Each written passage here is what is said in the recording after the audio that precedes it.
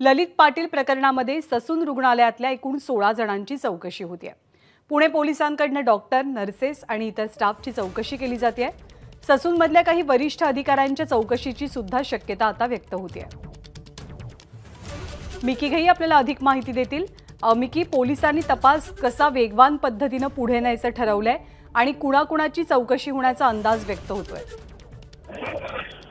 Dnyanada drug mafia Lalit Patil प्रकरणामध्ये आतापर्यंत जर ससून रुग्णालयातील वेगवेगळे कर्मचारी असतील डॉक्टर्स असतील नर्स असतील अशा सोळा लोकांना पोलिसांनी चौकशीसाठी बोलवलं होतं. त्यांच्याकडून वेगवेगळ्या पद्धतीने माहिती घेतली जाते कारण ज्या वॉर्डमध्ये ज्या सोळा क्रमांकाच्या वॉर्डमध्ये ललित पाटील त्या ठिकाणी उपचार घेत होता राहत होता त्या वॉर्डमध्ये जाऊन जे नर्स डॉक्टर स्टाफ त्याची मदत करत होते. किंबहुना त्याला ट्रीट करत होते. या सगळ्यांकडून कसून चौकशी सुरू आहे.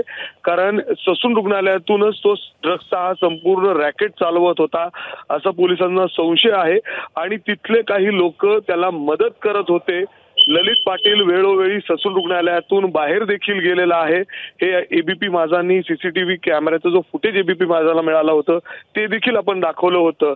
अर्थात याच्यामध्ये आणखीन कुणाकुणाचा साथ होती होती का हे देखील पोलीस अ, तपासतायत. आणि आता तर काही वरिष्ठ डॉक्टर्स जे ललित पाटीलवर उपचार करत होते त्यांना देखील बोलवतील. यामध्ये डॉक्टर संजीव ठाकूर जे डीन होते ससून रुग्णालयाचे जे उपचार देत होते ललित पाटीलला त्यांना देखील बोलवण्याची शक्यता पोलिसांकडून म्हणजे वर्तवली जाते. आपल्या सूत्रांची माहिती आहे.